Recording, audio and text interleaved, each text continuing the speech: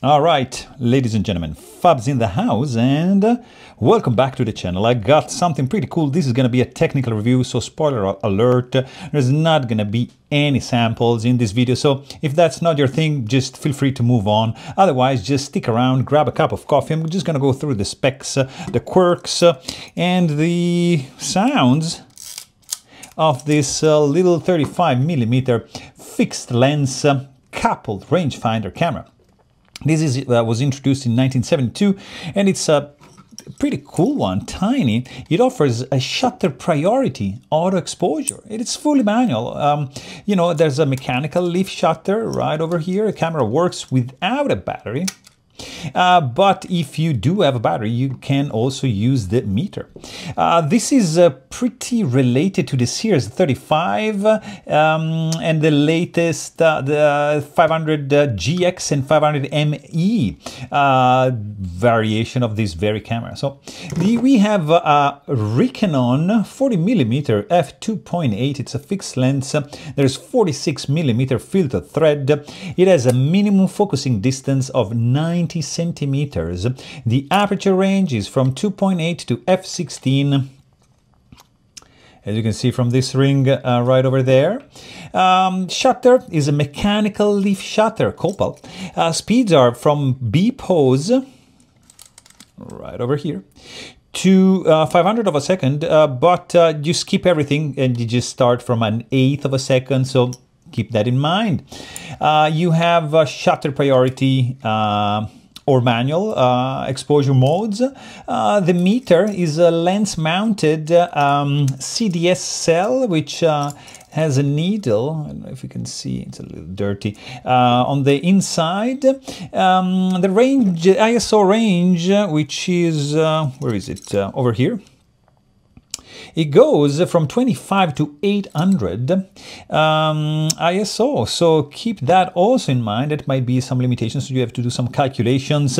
If you're doing ND filters or if you're pushing or pulling the film, keep that in mind. There is also a hot shoe and a PC uh, socket. Um, you know, X-Sync is at all speeds. It's a leaf shutter, of course. Um, but, you know, from a 60th to 500 of a second probably would be pretty appropriate for an electronic flash. If you use bulbs, uh, it's going to be 30th uh, and 25th of a second. Uh, there is a self timer right over here, which is pretty roughly kind of 8 seconds mechanical. Uh, this guy is uh, using a battery here under this compartment, which is a, a 1.35 volt PX675 Mercury. Uh, so it's gonna be, it's pretty much an obsolete uh, kind of thing.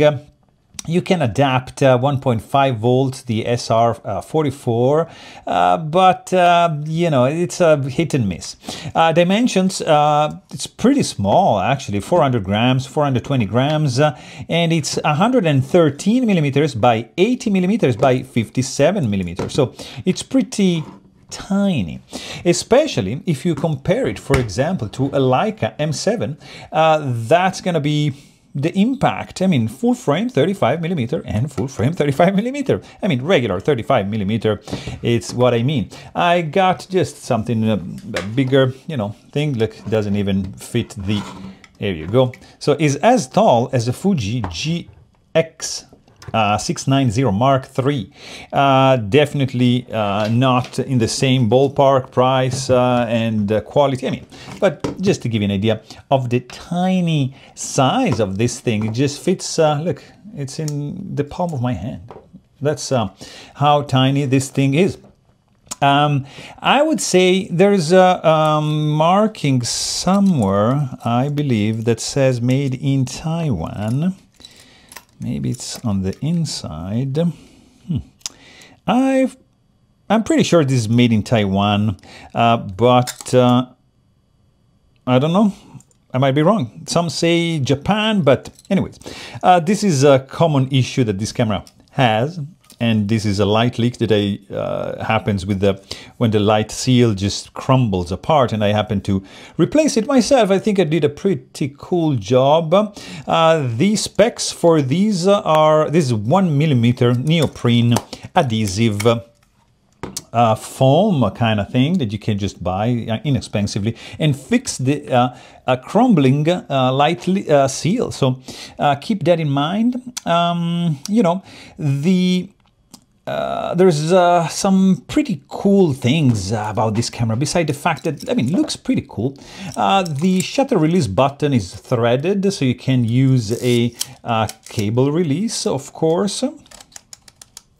Um, you have a film uh, winder, of course, and you have a frame counter right over there, single stroke advance, and the counter auto resets when you load the camera. When you open the back, there's this little thing over here which resets the counter. That's why it's in that position. Um, you have, um, you know, this auto and manual ring, which is right over here. So you see the A and all the aperture. So when you set it on A, like so, that's your auto exposure. Um, the M, it's gonna be hard to show you. Yeah, beside the dirtiness. Anyways, the M pops up into any of these other modes when you uh, are not using the auto mode. And you have, uh, you know, a the shutter speed ring, which is this guy, which clicks pretty nicely, I have to say. Some ASMR for you guys. Yeah, sounds good. It's... um from a B, we said, to an eighth of a second to 500th of a second, and match uh, needle, you know, in the viewfinder indicates the working aperture in auto exposure. So, uh, you know, it's like a meter readout in manual, pretty much. Uh, the film speed selector and window is located on the uh, lens barrel, as we said, and you get a focusing ring right over here and distance scale in meter, the green one, and in feet, the white one. So you have um, uh, a pretty cool rangefinder uh, patch, which is, again, yeah, it's kind of this one. It's it's not gonna focus, but anyways, it's a rangefinder. So you have uh, a rangefinder window, of course, which is this guy right over here. So don't don't cover that, otherwise it's not gonna work. And uh, it's kind of bright. Uh, there's some parallax guides, which again, you cannot see because it's not focusing there, but still, uh, it's there for like close up and uh, for the infinite uh, uh, focusing. So you have that little bit of um, uh, help. The rewind knob is kind of like lame because it's at an angle so it doesn't really help this spins yeah but there's no grip and also it's a a weird angle, so it's not the best. Um, you, it's pretty cool that you can use the like a PC sync socket for like corded flash. in addition, of course, to the hot shoe, I use a standard 135 uh, uh, film.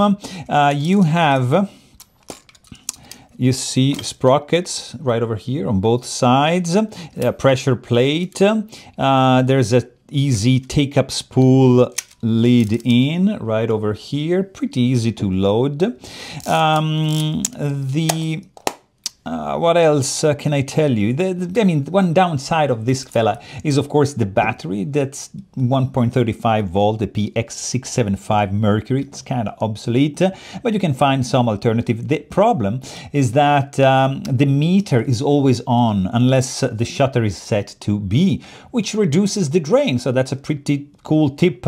Otherwise, in a couple months, this battery is going to be just gone. So keep that in mind. You know, the leaf shutter compact cameras of this era uh, have often small viewfinder. The, the uh, rangefinder patch is usually modest, and in this case, it's kind of dim and small. Yeah, so I mean, but it's still it's a very inexpensive uh, camera. I believe the uh, GX, uh, the uh, aperture ring is uh, cramped near the body and uh, so, but that's, uh, you know, a layout that it's shared with this guy. So yeah, it's not the best. It's kind of, you need a little bit of attention to turn this, I mean, aperture ring, which is the one you want to use probably the most. Um, there's um, um, what else can I tell you about this? Um, hmm. I think the pros and cons, uh, in long story short, are that this is a fully mechanical operated camera. So the shutter works without a battery. That's the, that's the main thing. Um, for example, in this case, uh, I can use this fella right over here, pop it on the top, and uh, because I, I, I, don't have batteries here right now, and I can still use this external uh, light meter, so that's pretty cool. I just uh, check the exposure and uh, I just set it, uh, where is it, uh, like so, you see, and that's it. So it's going to be two weight and 2000 of a second. So it's not going to happen because this is up to 500 of a second. So I'm just going to do 500 of a second. And what is this? Boom. It's 5.6. So I'm just going to do 5.6. There you go. It's already set in place. So uh, you can still operate this fully mechanically. It is a leaf shutter, you know, allows a flash sync at all speed. There's a hot shoe and um, it's also working very well. The light meter CDS works if you have the correct uh, battery. It's a compact metal body, you know, practical 40 millimeter 2.8. It's sharp if you close it down to f568. It's pretty good. Close focus is 90 millimeter, so uh, centimeters, so not the best, but it's still a 40 millimeter, so that uh, is, is gonna work. The bad is, of course, that Mercury Cell PX675. That's also late. You need a workaround to make it work. Uh, there's no exposure compensation. There's no a uh, auto exposure lock. So you cannot just lock the exposure, compose, and click. It's not going to happen. Um, also, like whenever you load the camera, it just clicks. So load and you put it in the bag, you're going to lose a frame 100% because there's no on off it's not lockable it's just like this. Um, another limitation is that the top speed is a 500 of a second and the ISO limit is 800 so there's a bit of a constraint if you use fast film or if you shoot in daylight you're not gonna have that much flexibility but still you can do some other again workarounds. Uh, another pretty uh, con, a pretty big con is the small viewfinder and the small rangefinder patch and kind of like cramped aperture ring. Come on, this is not a pretty cool design at all, but uh, you know, it's uh, pretty much the same as the GX. So handling can feel pretty tight if you have gloves or if you have like big sausage fingers. Um, there's, um, you know, overall, this is a pretty cool compact camera. It's inexpensive. If you want to start uh, dipping your toes into film photography, 35 millimeter is the way to start. And getting one of these is not going to break the bank. Uh, I mean, I got this uh, uh, relatively cheap, and this is a fully mechanical leaf shutter rangefinder. So shutter priority, there's a meter, there's you can use filters, you can use flash. Uh, if you find uh, the battery, you can use the meter, right? So you know, if you're evaluating uh, one for your kit, uh, just verify the uh, rangefinder alignment, um, uh, verify the shutter speed first, uh, check out the meter response with your battery solution, work around, and first of all, and I mean, most importantly, check the light seals because uh, the ones uh, that came with this bad boy were like very, very bad, rotten. Uh, the plastic was just gummy and crumbling around. So I just removed it with some alcohol and some Q-tips. I cleaned it up. You see there's some residues left underneath that. And then I just cut those um, strips. You see I made a little bit, I went a little bit overboard into this part, but still I was able to fix it. So, um, you know, from a technical standpoint, it checks a lot of boxes. It's a pretty straightforward to use camera. It's serviceable because it's, you know, mechanical and there's not really much complexity added to it. It's cheap. So I highly recommend it. And I mean, it looks pretty good, right? Let me know down in the comments what you guys think about this fella.